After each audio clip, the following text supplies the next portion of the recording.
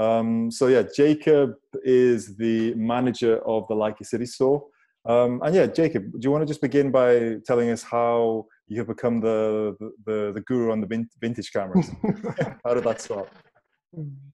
The guru is a nice word. so I've been buying and sell, selling Leicas for quite a few years now, and the, at least the last ten years of this has been buying and selling Leica. Not always working for Leica, but buying and selling Leica, and uh, by that, I've learned a lot about the models throughout the years, and they've not only been my profession but also a passion. I really love them, and I try to collect the ones I can afford. Uh, so yeah. So you have a few cameras in your own collection. Uh, yeah. So my collection is not permanent. I always accumulate a few cameras, use them for a bit, and then purge and get some more other ones. Uh, and what, so what's what's what's in your current collection? So in my current collection, there are quite a few vintage cameras, but from Leicas, I only got one here with me, which is a, a Leica 3D from 1939. Uh, I've got a Leica M42 with me as well, but that's not my personal one. That's a that's a Leica property. Those uh, that's, the, that's the one on the photograph right now. that's it? the one on the photograph right yeah. now. Yes, comes with a really lovely lens on it as well. Um, so this webinar is to tell you a little bit about Leica cameras and how they changed over the years, uh, from the first prototypes to the current models. Uh, so perhaps you're thinking of using a vintage camera and uh, want to decide on which one. Maybe you're thinking of starting a collection and maybe are looking for some pointers. Maybe you already have a collection, then you probably know a lot more than I do and I can learn something from you. But uh, yeah, just we'll just one request. Can you just talk, speak a little bit louder? Yes, absolutely. Uh, I think yeah, maybe the mic was a bit. Maybe the mic was a bit far away. Is that a little bit better? That sounds better to me. Yeah. Okay. Uh, so first of all, this is going to be only about Leica rangefinder camera. So I'm not going to touch on SLRs. And uh, what is a rangefinder camera? So according to Wikipedia, it's a camera fitted with a rangefinder, typically a split image rangefinder, which is a range-finding focusing mechanism allowing the photographer to measure the subject distance and take photographs that are on sharp focus. End of quote. Uh, so there are two types of rangefinder cameras, a coupled one, like you see in the picture. Everything happens automatically. You just align two images into your viewfinder and the lens focuses automatically. And there are uncoupled uh, rangefinder cameras where you have to do two things separately. So you find the distance on the rangefinder and dial in that distance onto the lens. They're a bit harder to use. I think we're having a, a technical problem that people are not able to view. What's happening? People are not they're not able to view the screen. Um, oh, that's not very good. Let me just have a look. I mean, I'm seeing it on my Okay, a lot of people are saying they can see it. So if I mean, it looks like it is working. So one thing I can probably recommend is that you um, drop out of it, exit, enter it, uh, exit the the call, and then just rejoin it, and then hopefully that will get you straight back onto the screen. Um, so yeah, I think we should continue. Okay, so uh, beginnings of Leica. Leica started in um, way before, I mean, Leitz uh, optical work started a long time before Leica camera started. And Ernst Leitz, the gentleman on the right-hand side, was the owner of the company and the business mind behind it. And the gentleman on the left-hand side is Oskar Barnack, who's the inventor of the first Leica camera. And what they gave us uh, changed the, the face of photography for years. So I don't think street photography or journalism, photographic journalism would have been the same if it was not for these two guys. And they started to work together around the year 1913, I think. Um, but they really started making cameras in the 1920s. And just to give you a uh, sort of some background, uh, I just have a few things about technology from when they were getting started. So Ford T was a popular car, and you had to start it with a crank. Uh, all the cinema, most of the cinema was silent. So um, and some people could afford a radio at home. So it was all pretty basic compared to what we're used to nowadays. And the cameras that were available in the 20s were there was a lot of uh, box cameras. They used 620 roll film usually, very poor quality, usually had a very simple lens, only one shutter speed, one aperture, mostly for amateur use. Some more advanced cameras were uh, bellows roll film cameras. Uh, they could produce really good images, but they had slow aperture lenses and they were a bit clumsy, so we needed to use a tripod to really take a good photo. And there was a lot of plate cameras in those days, and they were really, really good, uh, extremely good quality, even by today's standards, but very clumsy to use. You needed a, a glass plate for every image you took, and you needed to use them on a tripod exposure times were very long, so they could produce a beautiful image, but not very usable. And there was nothing that was handheld, small size with a fast lens that, that you could sort of use to capture life as it happens. So Oskar Barnack started working on some prototypes. First one was the Leica Ur. There was very few of these produced. There was only three cameras uh, as far as I know. Um, and it was uh, designed to use cinematic film uh, to take still photographs. Uh, and you could put enough film to take 50 exposures, and there's a frame counter on the front that goes up to 50. Uh, there's some stories around saying that this was not really invented as a stills camera, but as a device to test cine film uh, sensitivity. So the chemical processes at the time were not as advanced and you weren't sure what sort of what sensitivity film you produced. In a batch you just took a little bit of it stuck it in this took some exposures and by the level of exposure you could see what iso the film was or asa at the time. And the second camera they came up with is the leica o. There was it was a series of 31 prototypes. And this is a very rare camera as well um, it was a lot more advanced than the Leica, but still complicated to use.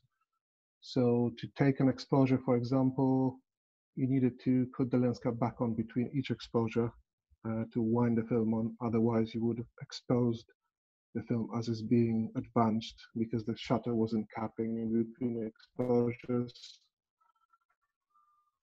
I did play with the replica and to change the shutter speed on it, you almost need a degree. I needed to study the instruction book uh, cover to cover about three times before I figured it out. So it's a complicated camera to use, but very rare, very valuable. Uh, last record I found was uh, 2.4 million euros for one of those. So, do you, do you have any idea on the Ur-Leica uh, what the UR stands for? I did read about it somewhere, but I didn't prepare for that. I don't remember. you can look that up later. I don't remember that and so these were the prototypes, and these kind of uh, gave uh, Oskar Barnack at Ernst Leitz an idea of what they want to produce. And around, I think it was 1923, uh, sorry, 1925, uh, gave a green light to produce the Leica 1 Model A. The first production camera. Was very successful. Around 60,000 were made over the years and it came in four different lens versions. Uh, most of them were 50 millimeter f3.5, but later on there was a premium faster aperture 50 millimeter f2.5 Hektor lens. Um, it's a non-interchangeable lens camera. It doesn't have a rangefinder on it, so it's not technically a rangefinder camera, but we'll get to that in a minute. And there was a Leica 1 Model A, which you see on the bottom here, uh, and there was a Leica uh, 1 Model B, which is also called the Compur Leica. And that was the only Leica rangefinder camera with a central shutter built in. Uh, and it was produced in small numbers and mostly for people who needed central shutter functionality. So there were some things that the Model A didn't do that you could do with the Compur shutter. Then uh, Leica 1 Model C came out, and that was the first Leica camera with interchangeable lenses. So you could take the lens off, uh, but you couldn't really put it on another Leica one model C because they needed to be matched to the lens. So even though you could change lenses, the factory needed to match the lenses to the cameras for you. Uh, but later on in, I think in 1931, Leica 1 Model C standard came out. and uh, sorry, and that allowed you to change lenses in between the cameras. It was the first truly interchangeable uh, Leica screw camera.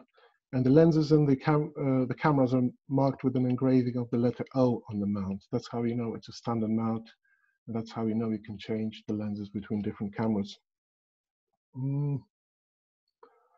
And this is an optional additional rangefinder. So you can put it on the hot shoe of the camera uh, on top of that, and this would give you, so you can just attach it here, and this will give you an uncoupled rangefinder. So this becomes an, a rangefinder camera, even though it's uncoupled. And we move on to the Leica 2. And so Leica 2 was introduced in 1932. And that was the first proper uh, coupled rangefinder camera from Leica. It's my favorite model because I've had a few of those over the years and they're pretty much indestructible. And it's not Leica policy, but uh, whenever one goes wrong for me, I just spray some WD-40 inside and it just just goes. But I repeat, that's not Leica policy. We don't recommend doing that. Uh, and this one had two eyepieces, so you can see on the bottom here, there's the left eyepiece, which you use for focusing. You look through that, align the two images into one, and your subject's in focus, and then you have to move your eye over to the right one, and this one allows you to frame your photograph. So this is the actual viewfinder, and the angle view is uh, representing a 15 millimeter lens.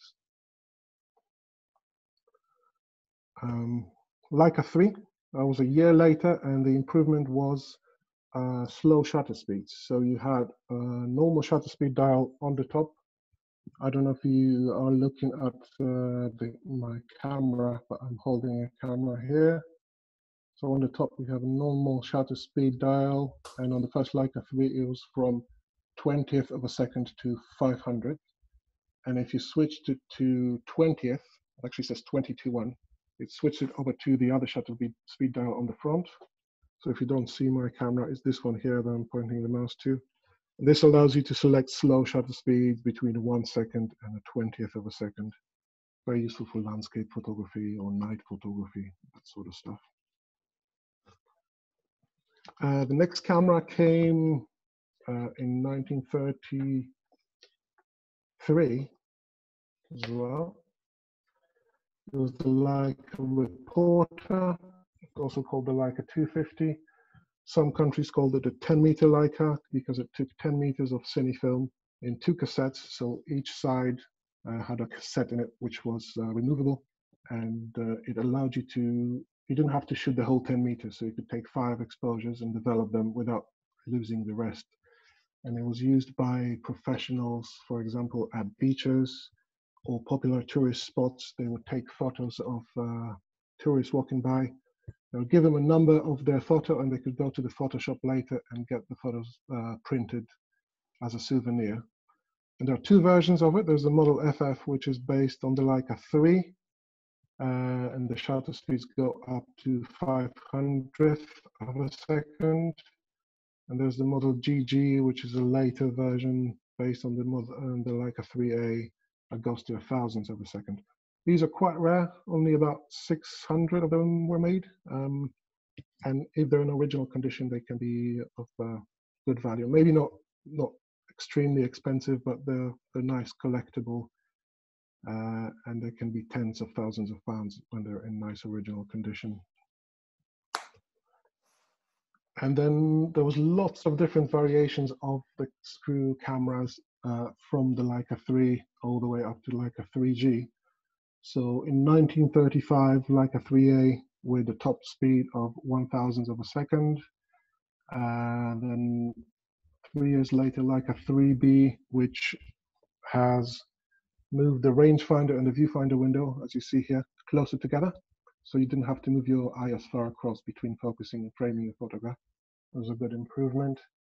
Uh, 1940 was a Leica 3C, which uh, was a much ro more robust camera. It was a die-cast uh, chassis and a one-piece top plate. So the, the, the, top part of the camera was made of one piece of metal.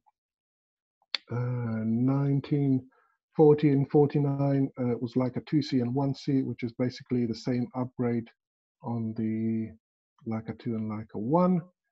In 1939, there was a Leica 3D, which is a really rare camera, uh, and it's pretty much uh, almost exactly the same as the 3C, but it's got a uh, built-in self-timer.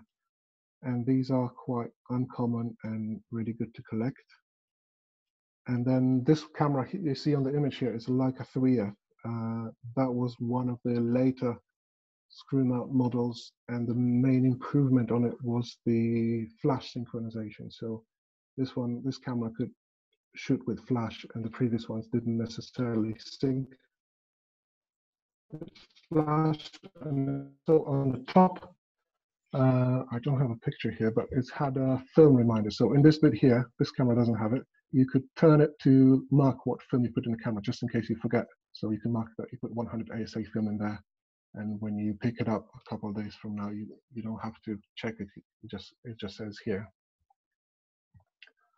Uh, also in the 50s, there was a Leica 72 it's a really rare camera and it's probably rare because it wasn't very successful. So it was not popular and it was not produced in, in large numbers. And it was a half frame camera. So it took 72 exposures on a standard 36 exposure uh, roll of film. It was made uh, in America. Again, not very popular, so uh, not many produced, but that makes it rare and collectible. Uh, then also the Leica 2 and Leica 1 got the F upgrade in 1951. And in 1954, the Leica M system started, but there was still another Leica screw camera to come out, which is the Leica 3G, which is this one here. This is the absolute top of the Leica screw mount system. It had many improvement compared to previous models. So this one uh, has got a bigger, brighter viewfinder that uh, can uh, provides frames for 50 millimeter and 90 millimeter lenses. It's got parallax correction, so as you change the distance of focusing, the frame shifts slightly uh, to give you more precise framing. It also has geometrically progressive shutter speeds, which means it's a lot easier to change your exposure settings without having to meter every time. So every click, this is a different camera, but it's also got the geometrically pro progressive shutter speeds. Every click of the shutter uh, speed dial is one EV value. So that's really easy, it makes it easier for photographers to calculate exposures. And uh, this camera was in production until 1960, so a long time after new, newer, more modern cameras started. But it was uh, it was really good and really successful. And also, you see on bottom of the camera the Leicavit, which is a rapid winding mechanism very often used by professional photographers who needed to shoot uh, a lot of photos in quick progression. Now, uh, imitation is the highest form of flattery. So Leica was very successful for many years with these models and there was lots and lots of copies. I think according to Wikipedia, there are at least 500 different camera models that can be classified as Leica copies. So there are plenty and I'm not gonna cover all of them. I'll I'll uh, I'll talk about a few that I think are significant. Um, so this is the Fed. It's a Soviet camera made in Soviet Union, uh, and they released a number of different models, which are all very very similar to the Leica 2. This is also my first Leica uh, that I owned a long time ago. Um, it's named after Felix Felix Dzerzhinsky, who's a, a Russian revolutionary revolution hero, but a really nasty character. I don't really like him very much, uh, but I'm not going to get into politics here. But, but it's a very significant. It was made in many in large numbers and uh, used by a lot of photographers. Another camera worth mentioning is the Kwanon. Uh, it sounds very similar to a company you might have heard of. It's a company that later became known as Canon. And uh, interesting fact about it is they started selling them before they made the camera. So they were using wooden mock-up of the camera for advertising, and they used to show it to people. This is our camera. It was just a block of wood with a lens stuck onto it. Um, but yeah, and um, Later on, another company decided to hire a lot of Kwanon employees and start a new company called Nippon or Nika or later Nikon. And they made lots of, uh, they made a few different uh, models which were based on the Leicas, similar to the Leica 3s or 2s. A decent quality, nice, uh, quite collectible nowadays. And another interesting one is a British one. It's the Reid. Reid was a British company making uh, instruments for uh, and after the war, they've uh, made a nearly screw for screw copy of the Leica 3 and the Leica 1. Uh, there are only a few differences between these cameras, uh, but you can kind of use the parts interchangeably if you need to repair one. And it came with a Taylor Hobson 2 inch f2 lens, which is very good. And it's known for being very, very good uh, build quality, a lot better than many other Leica copies. And I thought it's worth mentioning because it's British. Uh, so yeah. Now we move on to into 1950s, and this is where um, there was a lot going on in technology, a lot going on in photography. So Leica needed to step the game up. So just a background on technology. Commercial jets uh, started flying uh, in the 50s. The first nuclear power plant uh, was built in the Soviet Union in the 50s. Cars were a, not, a lot nicer than the Ford T uh, this is uh, Mercedes-Benz 300 Gullwing, lovely car. Uh, the space race started with the Sputnik launched by the Russians. Um, most of American household had a TV, so uh, TV was widely widely available, and cinema was not silent anymore. It's improved a lot. Um, and the cameras in the 50s uh, were improved a lot compared to the 20s as well. Uh, so Hasselblad and Rolleiflex were medium format cameras used by many, many pro photographers. Um, Contax, which was one of the main Leica's competitors, have improved a lot and perhaps for a moment it got better than Leica. So that's why Leica needed to come up with something really good. And they got so good that even the Japanese started copying them instead of uh, Leica. So Nikon have started making cameras with the same mount as Contax cameras, and they pretty much looked almost exactly the same. So they were copying them. Uh, and later on, Nikon released their own SLR system. That was late in the 50s already. Uh, the Nikon F was really, really successful. Big competition to Leica or any other camera manufacturer uh, later on. So Leica, uh, Leica's answer to this was the Leica M3. It was a big improvement of the screw mount system. Uh, it had an integrated viewfinder and a rangefinder, so they're both in one eyepiece now. It was big, bright. It had parallax collection correction built in. And as you changed the lenses on the camera, the viewfinder changed as well. So you had frames for different focal lengths. Uh, 51, 50 millimeter being the main one, uh, but you can also use 90 millimeter and 135 millimeter lens. And if you had a special 35 millimeter lens with goggles, um, you could use a 35 millimeter lens as well.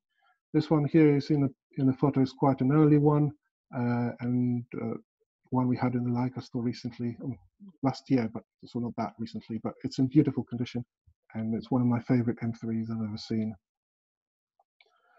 And as the M3 was very popular, um, some professionals who needed a really, really quick camera, so they needed a Leicavit on it. And Leica's response was the Leica MP. It was a camera produced in very small numbers. It was only about 500 of them produced, and they they came with the rapid winder Leicavit MP, they had a few other things that are different than the M3. So the frame counter was manual. So you had to reset it manually, uh, but the, this was really good to pros because you could change it if you uh, needed to change the film halfway through a roll. So it's quite useful feature for professionals. And this was only offered to special customers, uh, only offered to professionals, and it's still quite rare and collectible and their prices can go into hundreds of thousands of pounds uh, or even into uh, seven digit figure, figures. I think there's one last year that went for over a million. Uh, so they're really, uh, really collectible. Uh, later on, the M2, M1, and MD came out. So it was kind of against logic. The M3 was first, then the M2, then the M1, rather than one, two, three, it was three, two, one. M2 was meant to be a cut down version of the M3, but some photographers consider it an upgrade because it had a built in 35 millimeter frame. So you can use 35 millimeter lenses on it without any uh, special goggles or anything, just, uh, just a normal 35 millimeter lens. Uh, and it had the same frame counter as the MP. So professionals like the M2 quite a lot. And there was a version uh, with a self time and without, and also uh, this bit you see here could be a lever like here, which is a, a rewind film release, or it could be a button. It's called the button release. Then a little bit less common, still not rare, but a little bit more collectible. And then you've got the Leica M1, which is basically a camera that's meant to be used with uh, scientific instruments or attachments. So it hasn't got a rangefinder.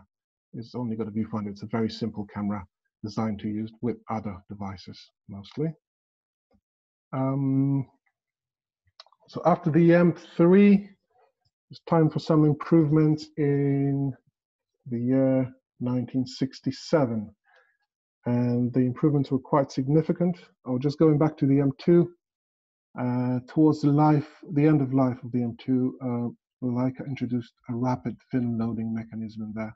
So it was a lot quicker to load film than the M3 and this was later on used on the M4. That was one of the, the main selling features of the M4.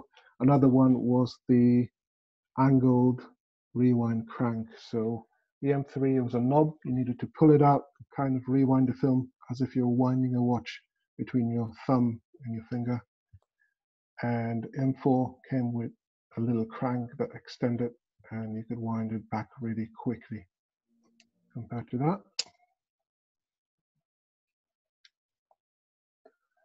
And uh, so later on, the, the Leica MD got the same upgrade. It was called the MDA. And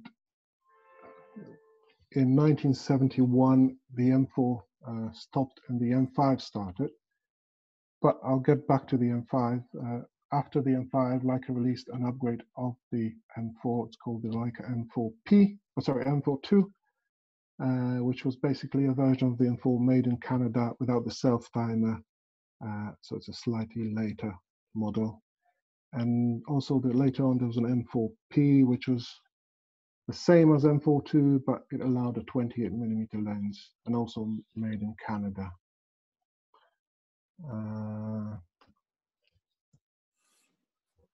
Leica M5, which I mentioned before, that was released in 1971. That was the first Leica camera with a built-in through the lens metering.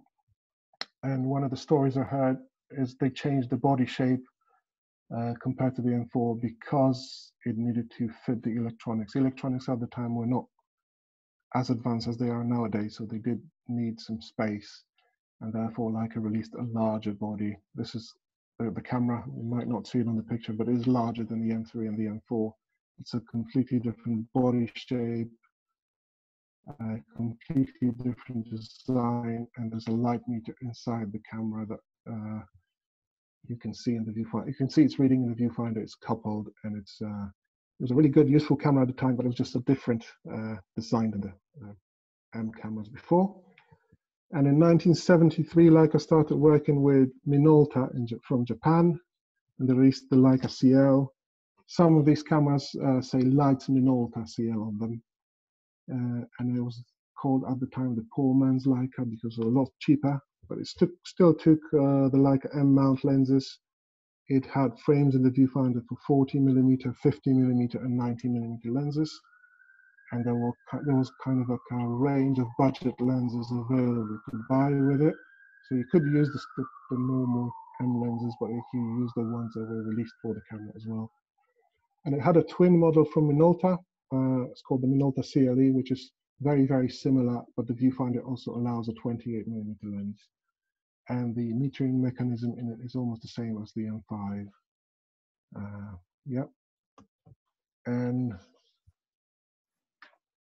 M5 was in production for four years. Then there was the M2, 42, M4P, and in 94, 1984, Leica released the M6. which came back to the M4 body size. Uh, this is how the mechanism looked more or less. Oh, this is how it looked exactly. And the light bounced off the white dot that you see on in the middle here, and it was reflected onto this uh, this light meter here. And it was there was no moving parts in it, so it was very reliable, very accurate. And even nowadays, the Leica MP uses almost exactly the same uh, mechanism. Uh, yes, it's it's very useful, and you know the design proved itself over the years. And uh, later on, towards uh, the year 1998, uh, the Leica M6 was replaced with the Leica M6 TTL, which had an added functionality of through the lens metering for flash. So you could have very accurate flash. Uh, you could use flash, automatic flash with it, and it'll be very accurate. Um, yeah, and it also had a larger uh, shutter speed dial. That's another way to tell the M6 TTL from normal M6 and I think the, it was larger because uh, to, to make sure it doesn't get in the way of the flash that sits on the hot shoe. So you could still quite easily change the shutter speed even though the flash is attached to the camera. Now uh, we're on to this millennium now. So year 2002 gave us the first Leica camera that could offer automatic exposure uh, not automatic exposure in the full sense of the word, but it's aperture priority, had an electronic shutter, uh, and it also had an automatic ISO DX code reader. So on the roll of film you buy nowadays, there is a, a special barcode and the camera could read that and know the ISO, so you didn't need to do it manually. And I'm especially guilty of forgetting to change the ISO when I change film on the cameras and I end up with incorrectly exposed rolls of film so this is a really good camera for me. Uh, and but when Leica released the M7, they didn't forget about the Leica Purist. Same year, uh, we released the Leica MP, which is a tribute to the original MP. So it's got the same viewfinder as the M7. You could have some different viewfinder versions, uh, but it's purely mechanical, and the only thing operated by a battery in it is the light meter. So some people say it's almost exactly identical to the as the M6 Classic, but the rewind is a knob, not a crank. Uh, also a beautiful camera, very reliable, really good one to use. And quite recently, uh, Leica released the Leica MA, which is the latest of the Leica M, latest analog camera of the Leica M system. Uh, but it's not technology more advanced. It's a little bit step backwards. It's purely mechanical, no batteries. It's a camera for the purists. It's going to probably last more than 100 years because there's nothing to go wrong in it. You're never going to need a battery. It's a beautiful, beautiful camera. Okay, that's uh, that's all the models I wanted to go through. Very, very uh, interesting. uh, there were some special edition cameras, and I think this, the idea of special edition started with cameras that were not intended as special editions. So there were some military which were basically there were engravings to to establish ownership or to, to mark ownership. So there's a Luftwaffe camera or German army, which is WH Wehrmacht here. I'm not sure exactly what that means, but Luftwaffe again to me means property of the Air Force. And they, over the years, have become collectible rare, and this engraving was very interesting. So even though it wasn't a special edition, they kind of have like a special edition feel to them. Uh, then there was the Leica MP, which again wasn't called a special edition. It's more of a special camera for a group of special customers. But also that I think that was a build up to special editions. And the first special edition, in my opinion, is the 50 year, uh, 50 year of Leitz uh, Wetzlar and there was an engraving uh, on four different camera models. So there's the SL2, Leica M4, Leica M5, and the Leica CL. And that was, I think, the first time where Leica put an engraving on a camera to kind of make it special for customers. So this was the sp first special edition, and that started a series of many different special editions to commemorate either events or cooperations with different like-minded brands. And there's a few uh, that I want to mention. It's no time to mention all of them, but my favorite ones are the Leica M6J. And this was a camera, uh, 40 cameras uh, released for the jubilee of the 40 years of the Leica M system.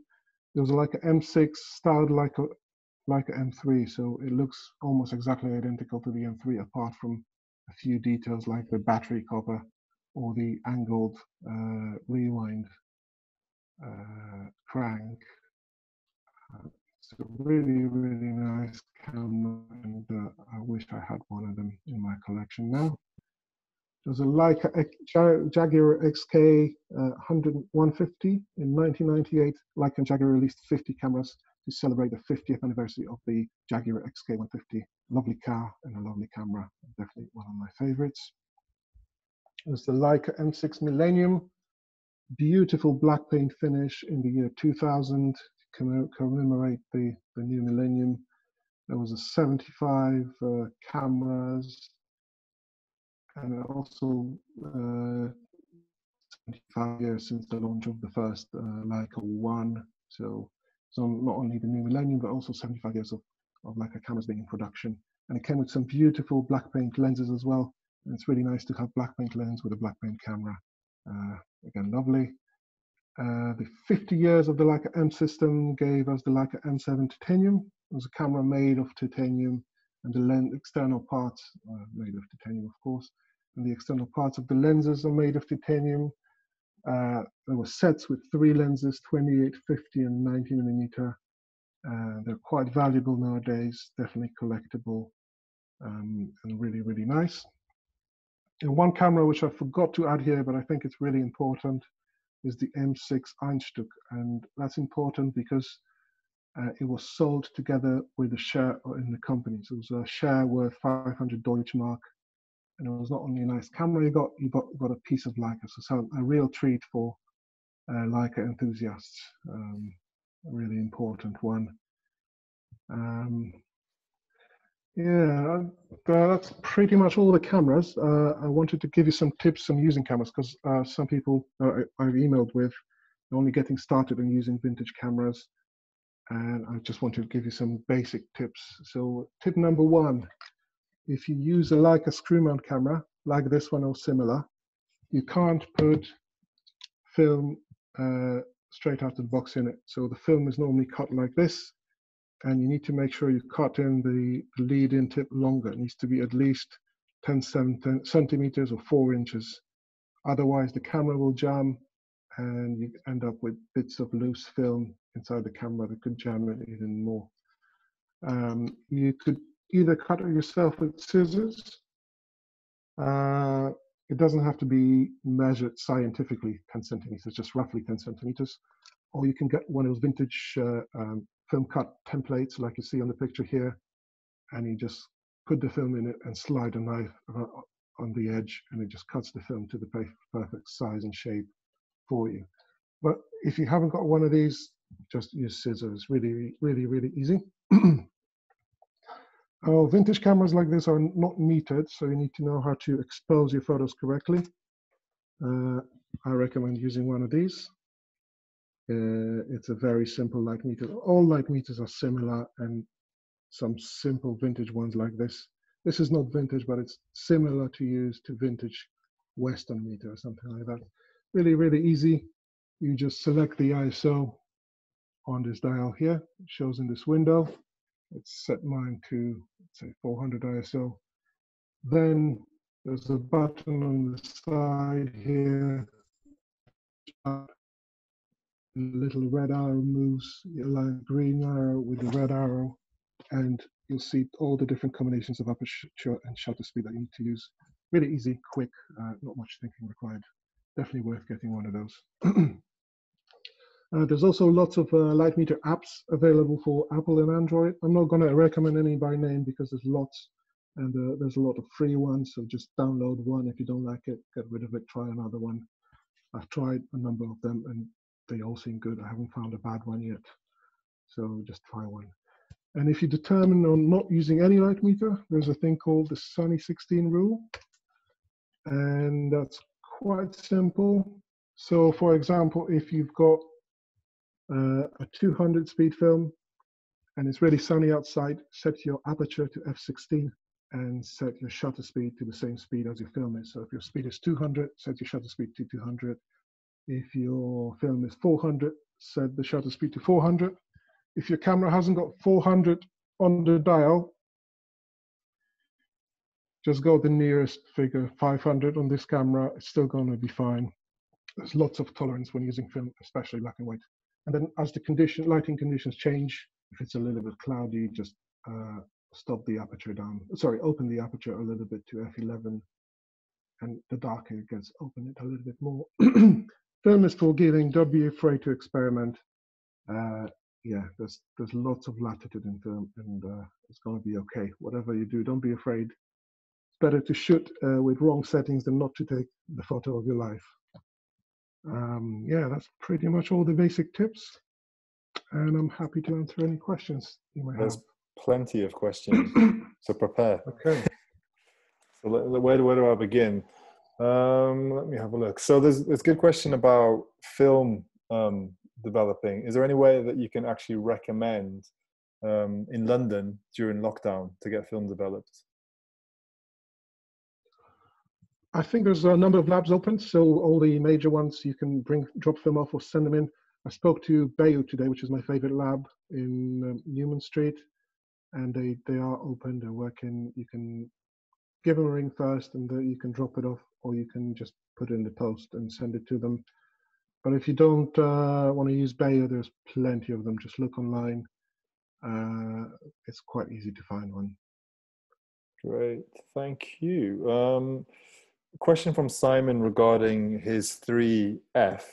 Um, And it's in terms of how to use the focus and, and the frame viewer in terms of which one to do first. It's focus, then frame, correct? Uh, I don't think there's a rule. Depends on really what you're doing. Uh, I I would think focus then frame because if you've got a moving subject, you can pre if you predict where they're going to be, you can pre-focus on, let's say, a piece of uh, of of the floor where you where you are expecting the subject to appear, and then frame. Uh, but it really depends on the situation. There's, I don't think there's an easy answer to to that. Which one? Which one? Well, on the on, on, on the rare occasions that I've been using the, the Leica 3, I, I always found it was for me it made more sense to do what you're saying, focus then frame. Yeah, yeah. I think that's easier, but it's not a rule. No rules. Okay, thank you. Let me see here. Um, Capilla is um, asking. I've seen a conversion unit for M6 from film to digital made by I'm Back 35. Are you familiar with that? Have you heard of it? I've it? seen some articles online. I don't know anyone who's ever used this. Uh, I don't know if this is a product that exists yet, or whether it's just a concept. Uh, if if you're thinking of using it, definitely give us a shout if you got some feedback, because I don't know anyone who's ever used one, uh, but I've heard of them. Yeah, fair enough. Um, Stephen would like to know if you know that you know the Ur Leica is Yeah. the you know if the lens is collapsible. It was a collapsible lens. Um, I don't think it, it had any engraving of what lens it was, but it was collapsible. Yes. I mean, this. Um, Yeah, sorry, we're going to add to that. there was a, a batch of non-working replicas released in I think maybe the 90s. Um, so I did handle the non-working replica and remember it definitely the lens was collapsing. Thank you. And um, this is a maybe a tough question. Rosemary's asking, um, what camera, if you know, did um, Robert Capa use for the D-Day landings? And would it have been waterproof at all? So it's probably what was definitely not- 1944. So it would have been. Definitely not waterproof. The most Yeah. popular camera during World War II was the Leica 3C, I think. Uh, so um, if I don't know, but if I was guessing, I would say Leica 3C. Okay. And yeah, in terms of how how robust were they to the elements? Any idea? Uh, I think they're quite uh, robust. I mean, if it got wet, uh, apart from you know having water droplets on the lens and film, you could probably still take a photo at the faster shutter speeds. I think the slow shutter speeds would stop working if the camera got wet. Thank you. But I think the shutter speed that were needed to take photos at the D-Day landing were probably fast shutter speeds, so it was okay. Thank you. And Steve is asking whether the, the threes are easy to focus. Uh, they're not as easy to focus as autofocus camera, that's for sure. uh, um, I think they're fairly easy to focus. I mean, it's it's the same rangefinder mechanism as on most of Leica cameras, and uh, it might be not easy to focus if you're using wide aperture, but if you're using reasonable aperture, it's, yeah, it's quite easy to get a sharp photo. Great. I'm just noticing um, uh, Douglas's comments. Not really a question, um, but Oskar Barnack and Herr Leitz always wore bow ties. Will this be a rule for the two of us going forward? I think we're looking at implementing that as a Leica dress code. Yes. Bow tie and a t-shirt could be an interesting yeah. look. Um, do you know um, what year the M3, M2, and M1 were manufactured between? What years they were manufactured between? Uh, so Leica M3 started in 1954, and I can uh, quickly look it up for you uh, when it stopped. One second. It won't take a sec. 54 it began production. So 19, yes, and ended in 1966. Um, so 66. in 54 there were they were slightly different. So the first Leica M3s had a, a double wind mechanism. So in order to advance one frame, you needed to wind it on twice. You needed to move the lever twice.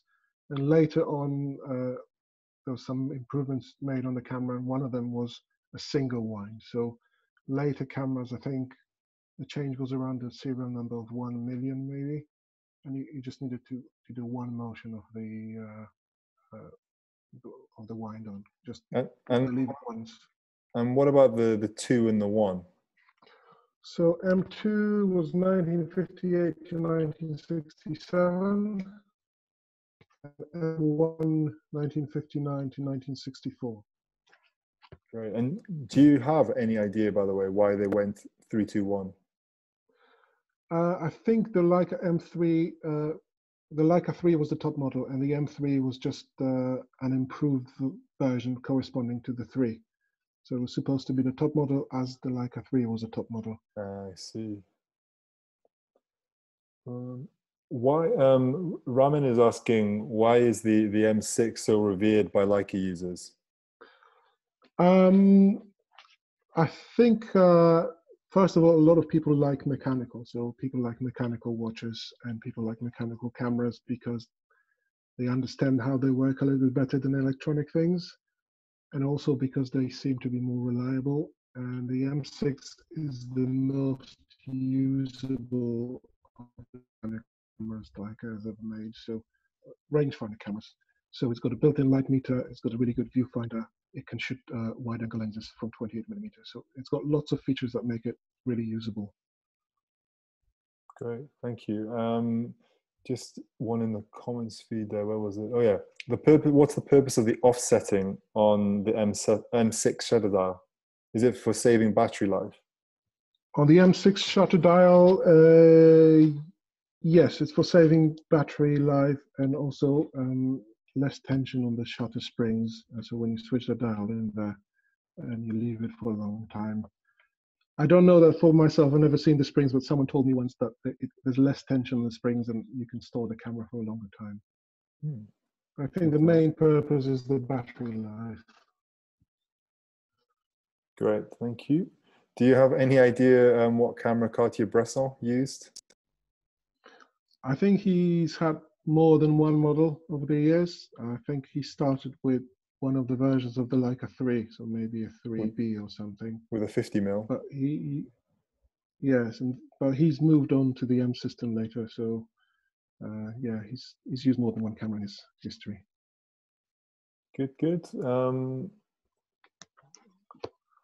um, Laurie's asking, what's the most modern all mechanical model available? Would be the MA. It's the MA, yes. It's the most modern. Uh, it's really, really nicely built, lovely finish. So yeah. and yeah, that's actually currently still a camera in production. It's a current model in production. Yeah, you can just buy a brand new one with warranty and everything. Great. Um,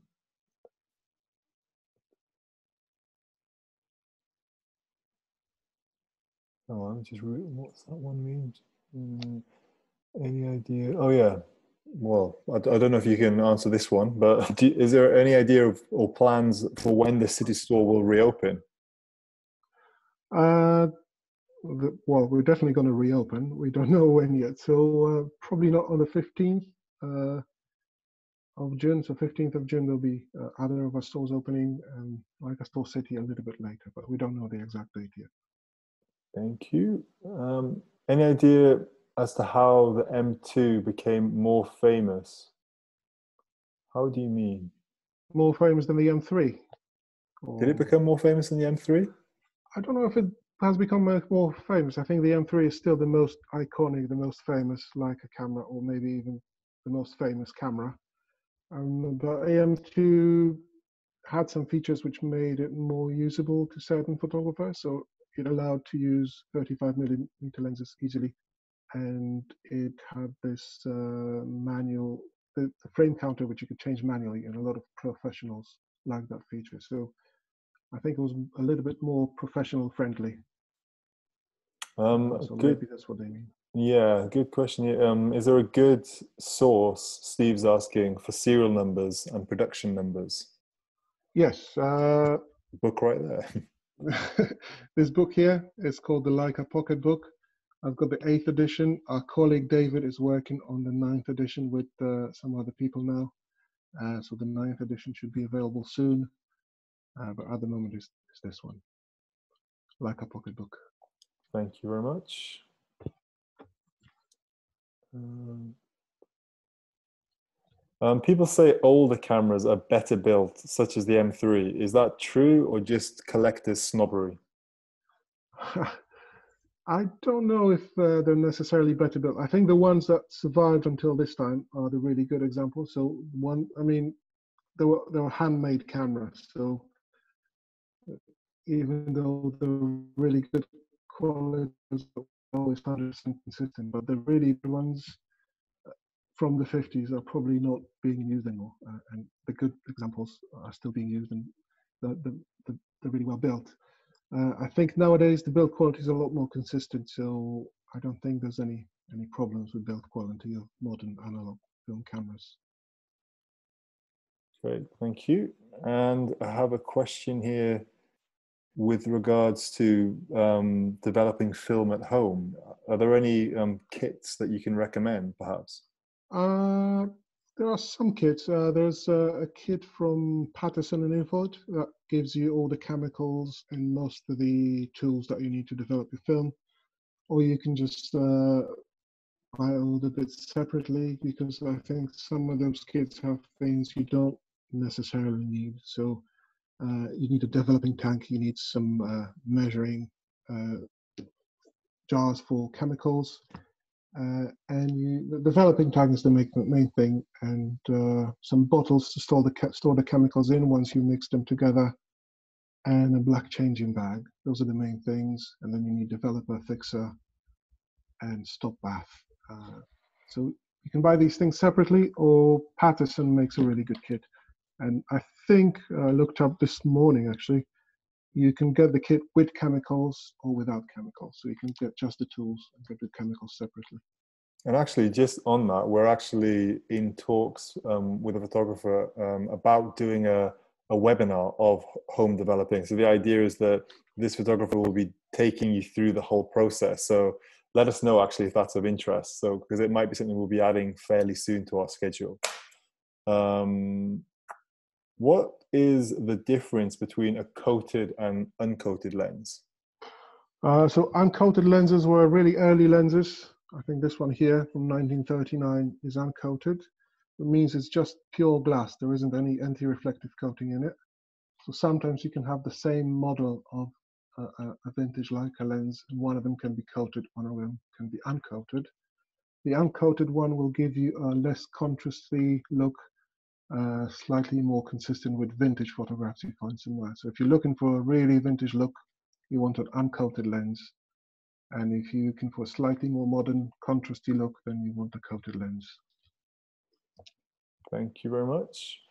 Um, using Hans is saying using glasses is a pain on a screw mount Leica. What would you recommend if you can't wear contact lenses? So most of screw mount uh, cameras have got a degree of diopter adjustment. Uh, this one's got here. Some of them have got it next to the eyepiece. It's only very limited. Uh, so it depends on your prescription, but it might not go as far. It doesn't go as far as my prescription, certainly. So I need to use contact lenses. You can also, for framing, you can use external viewfinders that fit in the hot shoe.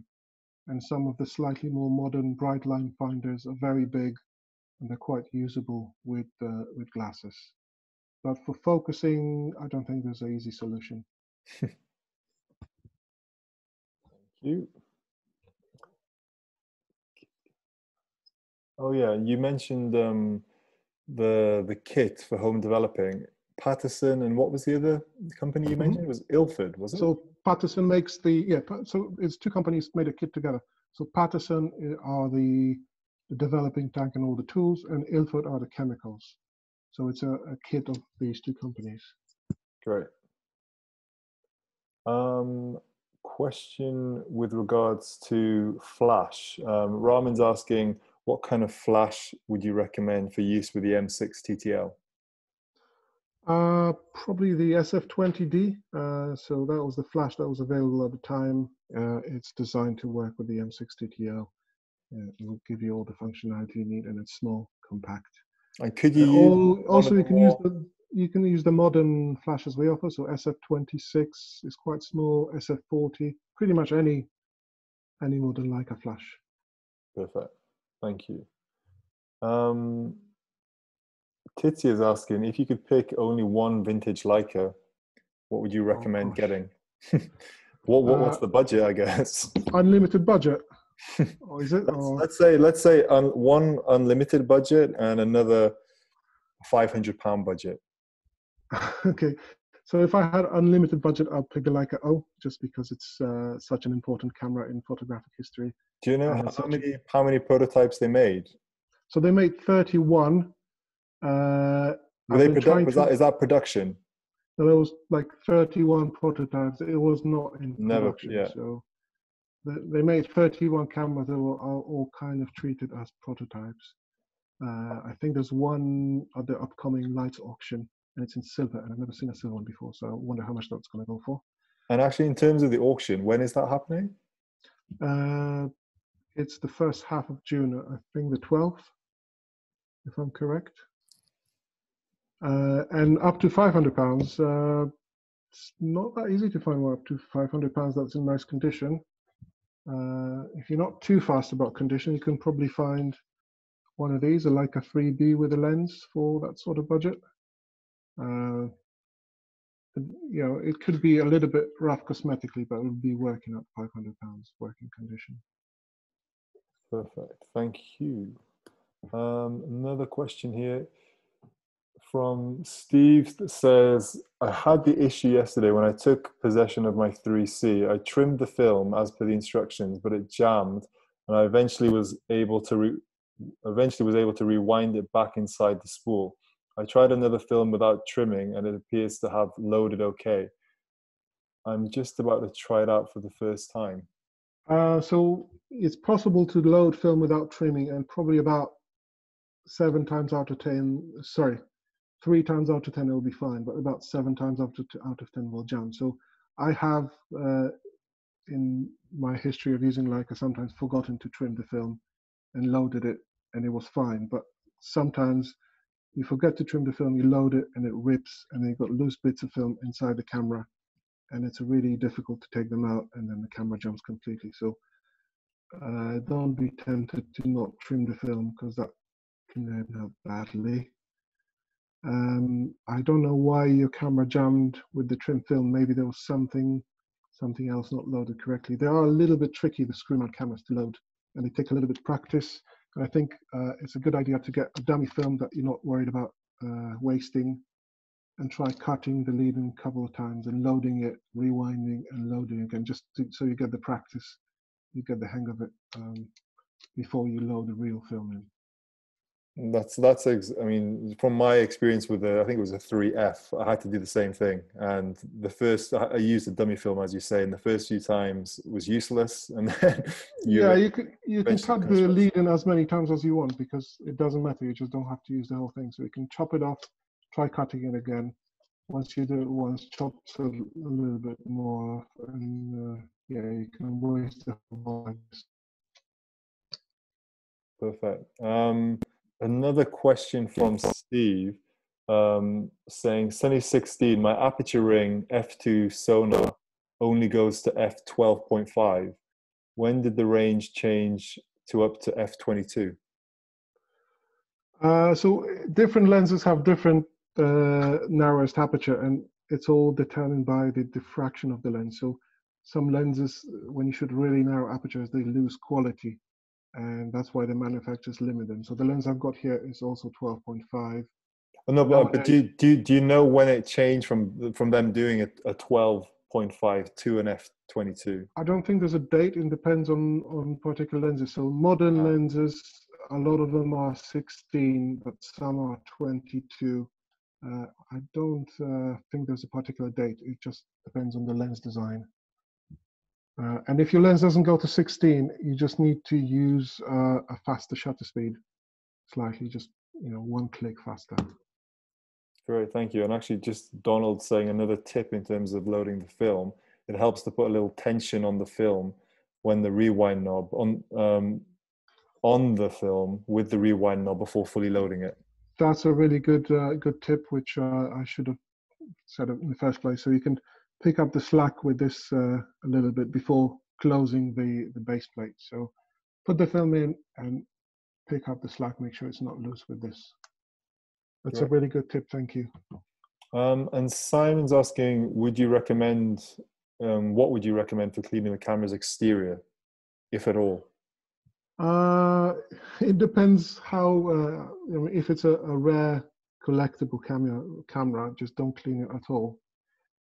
Uh, and if the camera is sort of uh, a little bit more common, then you can be a little bit braver.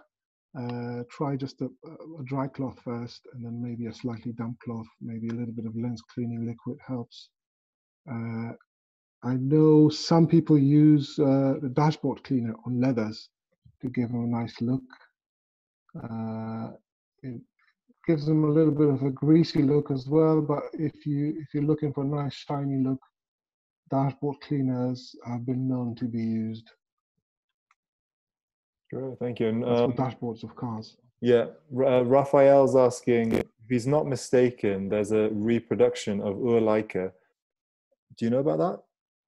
Yes, so there was a, a series of non-working replicas released by Leica. Oh, and he was saying also second to that question, um, does it have the same function? No, it doesn't work. So it's, no. it's just it's just a dummy. Yeah, there was a working replica of the O Leica, uh, and that was between the year 2000 and 2004. There were two versions released by Leica, uh, and I had the pleasure of using them. I didn't use the actual O Leica, but I used the replicas and a really cool camera sleeves uh, and come with a really nice lens. Great, thank you. Um, does a red yellow filter on the rangefinder window help with focusing? Yeah, that, that gives you slightly more contrast in the focus uh, and it makes it easier to focus, yes. Didn't know so that. Little, little tiny filters that fit over these uh, rangefinder windows here. Did Leica actually produce those as in, was that something They did buy? produce them. Uh, well, you can't buy it now, but something you could buy from like in the days back in the days. Yes. Um, great. What else do we have here? Um, who has the most robust body and mechanism? The M3, M2, or M1? I think M3, M2, M1. They all use the same uh, same bodies, and they're all uh, pretty much the same camera. The M1 has the least moving parts because it hasn't got the rangefinder, so that's probably going to survive the most, but they're all very similar. Great. And will Leica still service a, a three? Yes, uh, Leica can still service uh, a three or an M3. Um, I think uh, like a three. The Three. yeah. Uh, so we are working on being able to service them here in the UK. The camera you see on the photo here is uh, kind of uh, something we've been practicing on. Uh, and we hope to be able to service them here. But at the moment, uh, to a limited extent, it can be serviced in Leica Germany. So not everything can be repaired. And uh, I don't suppose you could give a approximate cost. Uh, so all the estimates are, are done on individual cameras. They need to be uh, seen to be estimated because the, the extent of the work can be different. So can't really quote Yeah. without seeing the camera. And it wouldn't be me seeing it, it has to be a technician. Yeah, yeah, makes sense. Um, Robin is asking a different Robin. Robin is asking, is it true that film M cameras are increasing in value? Yes, over the past few years, they've they've increased a lot. Um, you know, cameras like the M6, M4, M3, they've all gone up in value more than inflation. So they uh, seem to be a really good investment. Thank you. Do you know if um, Salgado used an M camera?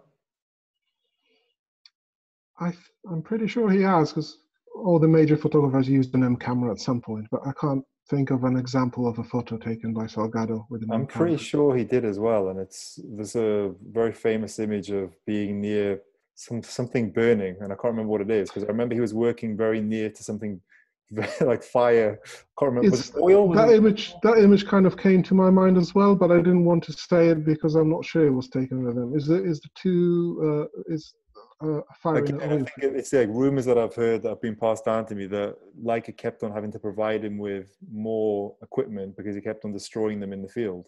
All right. But again, this could be a, a, a myth. I don't know. yeah, I'm pretty sure Salgado used an M camera at some point. That, that's uh, that's that's a certain. Okay. Um, how regularly does a lightly used camera require to be serviced? Uh, it all depends on how it's stored. So if you if you've got a mechanical camera that's lightly used and stored in, in good sort of not too dry, not too humid condition conditions, it probably might never need servicing. Uh, so light use is really good because unused cameras tend to stop working after a number of years because all the lubricants dry out and, and kind of uh, get sticky. But if you store it in a place that's not too dry and not too wet, I don't think you'll ever need to service it. Thank you.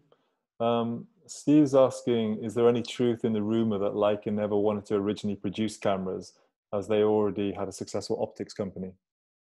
Any ideas? Uh, it's actually in a, uh, in a uh, company training for Leica's history. There was a big uh, big discussion in Leica at the time when Oskar Barnack produced the uh, the prototypes and he showed them to Ernst Leitz. And the whole board board of Leica didn't want to make any cameras because they thought that's uh, that's a waste of money and a silly investment and, and it's never going to bring any return.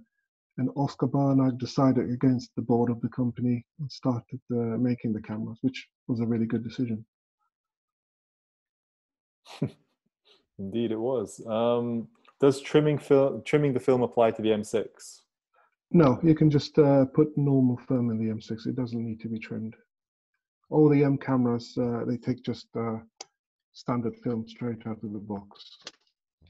Good question here from um, Ramin saying, how do you recommend testing an older Leica out? I.e., if you were to shoot a test roll, what would you try um, to look out for? Uh, so I would probably fire it at all the different shutter speeds and take a photo at all the different shutter speeds. So things to watch out for are the extreme slow shutter speeds and the extreme fast shutter speeds. So uh, make sure that they expose properly or they expose at all at, at the two extreme ends of shutter speeds. Uh, check the focusing. So try to uh, take a photo of a wall at a 45 degree angle and see if the focus is where you want to where you want it uh yeah make sure none of the bits fall off the camera Uh, yeah Great, thank you. Um, what's Mark saying here? Is there an undervalued, overlooked gem among vintage analog Leicas? And will any of the digitals um, that are you know being produced now will they be uh, will they be still functioning in 80 years time? Um, I think some of them probably will still be functioning, but it might be difficult to find a memory card or a battery for them. Just to answer the, the, the latter part, yeah. So I think batteries and memory cards will be difficult in 80 years' time because the technology is going to change.